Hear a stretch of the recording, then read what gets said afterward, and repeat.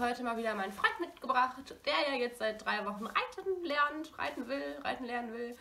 Und wir haben uns heute mal überlegt, oder ich habe mir heute überlegt, einen Pferdequiz mit ihm zu machen, um mal so abzufragen, wie viel er sich dann auch wirklich von den drei Stunden behält, was er schon weiß. Genau, und ich würde sagen, wir fangen auch einfach direkt mal an. Die erste Frage ist eigentlich ganz einfach, und zwar, wie heißt das, mit dem wir Robinho aus der Box holen? Ähm, Halfter. Genau. Und Frage, Frage Nummer zwei. Wie viel Platz muss zwischen Nasenriemen und Nase sein? Äh, zwei Finger. Ja, und so oder so? Also, äh, ja, so. Ja, genau. Wie heißt der Beinschutz von Robinho? Mm, Gamaschen und Glocken. Genau, du bist ganz schön gut. Von welcher Seite aus satteln wir? Links. Okay. Und von welcher Seite steigen wir auf? Mm, auch links. Okay. Jetzt wird es ein bisschen anspruchsvoller, aber ich weiß nicht, ob du das weißt. Aber nenne mir mal die Hilfen.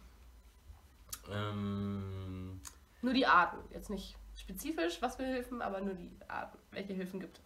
äh, ja, also was ich da mal so gehört habe, das ist halt irgendwie äh, Schenkelhilfe, Mhm. Gewichtshilfe Mhm. und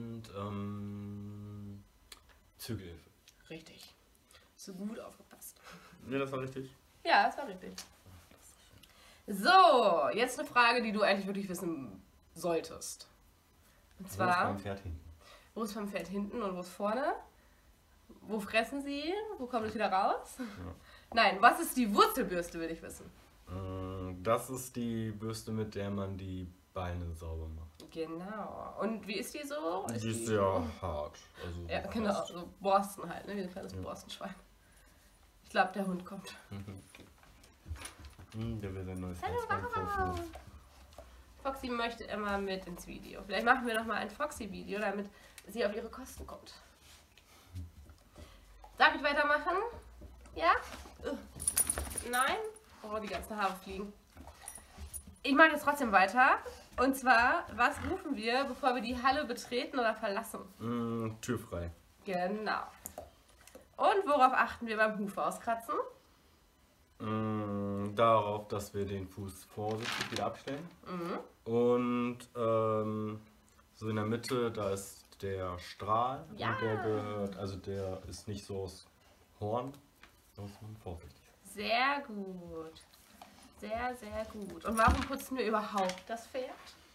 Mm, weil das so die Bindung zwischen Reiter und Pferd verbessert und weil das auch so gut für die Durchblutung für das Pferd ist und das fühlt sich gut an. Und man kann das Pferd auch nochmal so ein bisschen sich genauer angucken, ob das irgendwo eine Macke hat oder so. Und ähm, dann, wenn da so halt so noch ein bisschen Dreck wäre, dann könnte es sein, dass es halt unterm Sattel oder irgendwo so scheuert. Sehr gut, du hast alle Fragen richtig beantwortet. Das war schon alles. ja, es war schon alle zehn. Es ging ganz schnell Krieg ich eine 1 plus. mit Sternchen und Stempel. Ich würde aber sagen, jetzt dürfen mal die Zuschauer die Fragen stellen. Mal schauen, ob du die auch beantworten kannst, weil ich war ja jetzt auch noch sehr nett.